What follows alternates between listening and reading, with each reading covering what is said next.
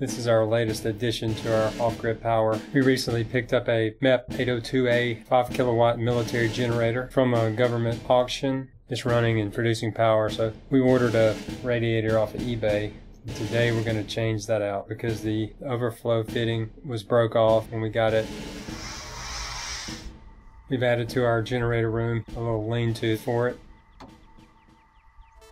Bought these casters off of eBay. They're really, I'm very satisfied with them to make this generator mobile.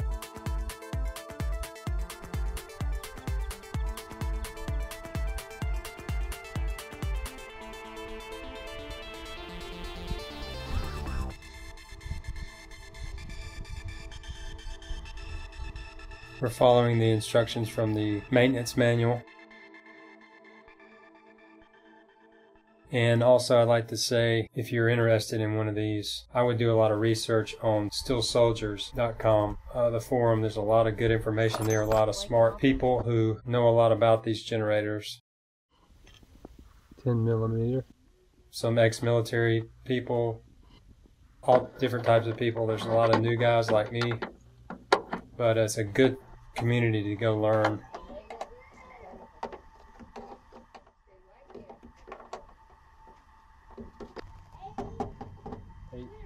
millimeter or 5 sixteenths.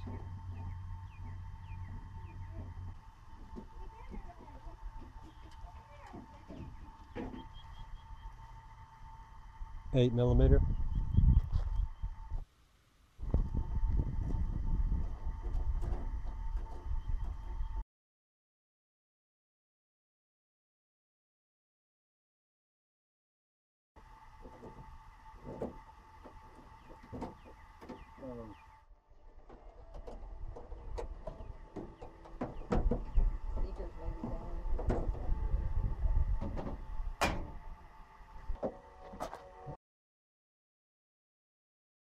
You know you got a good wife when she's out here helping you work on your military surplus generator like this. Yeah, this one has two nut, I mean, two washer things on it, and that one doesn't have. You put it on that one. I'll do it. Just pass it to me.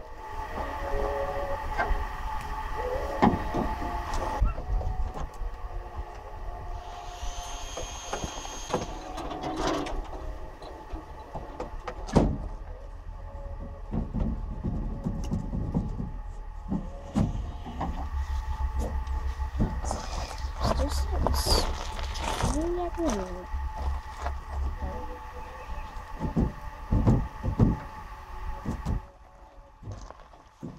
this chair's. You got it.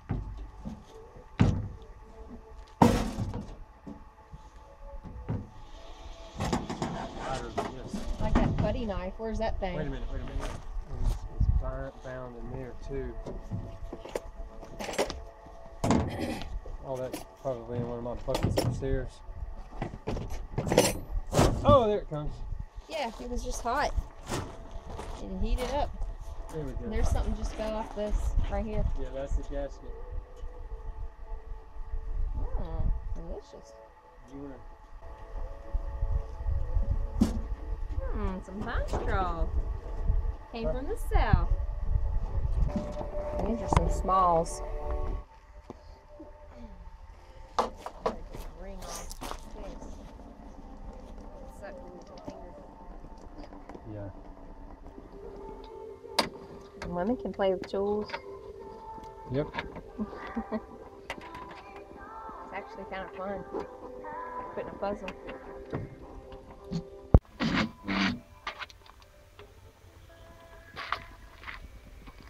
We can get to those top fan shrouds easy now. Yeah. I better have some pretty good mechanic. Daddy, I found a pretty rock.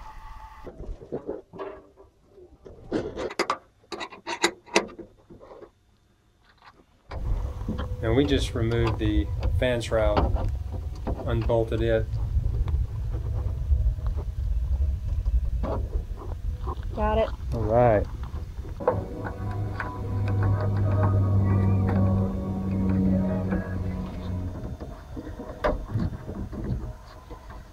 I had a little trouble with the radiator hose coming off the radiator, so I just un- disconnected it from the water pump to get it out.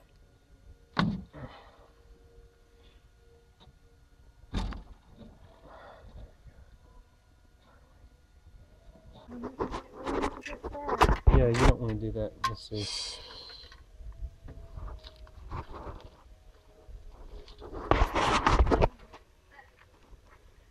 I tried to JB weld this a copper pipe.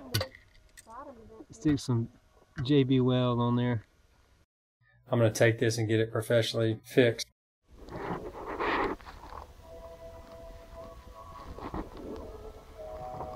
Bagged and tagged. Sorta. I don't think it's like. But if I had screws and stuff.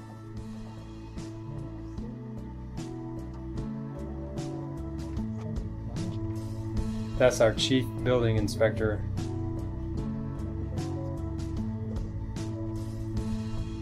Inspecting our new lean-to. This isn't like taking an old Chevy radiator out. This is a lot of bolts and you got to remove the top enclosure, but it's not too bad. To get all these lined up, top, need to keep these four underneath the radiator loose so you can slide them up and down, adjust them up and down. You been out hiking?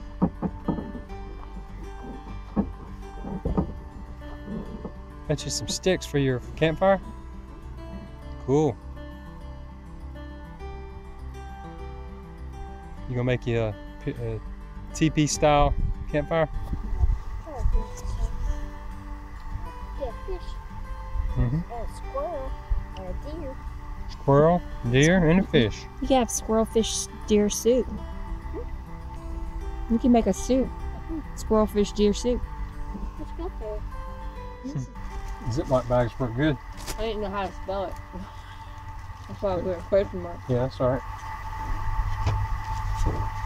You want to do the shield or?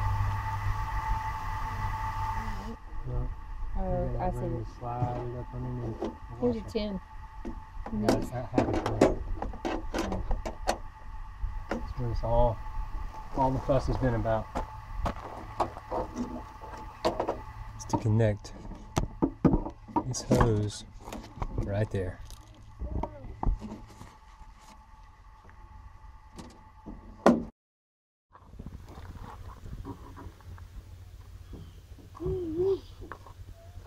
Must have used to be a green one. Yeah, they probably originally were painted green.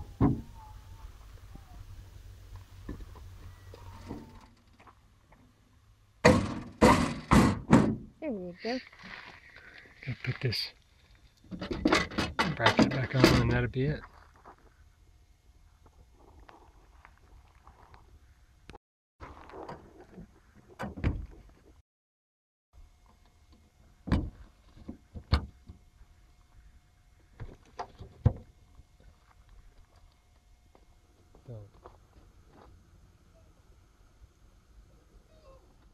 And one thing I like about this generator is that you can um, connect it to an auxiliary fuel tank. It's got an auxiliary fuel pump on it. That's a plus.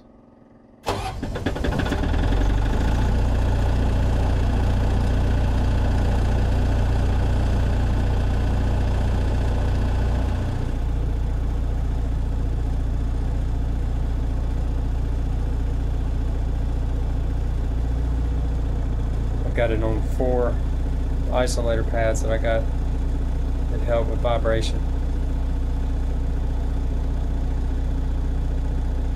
Just doing my initial adjustments and getting it ready to hook up to the connect to our off-grid house. My next video I'll show how all that turned out.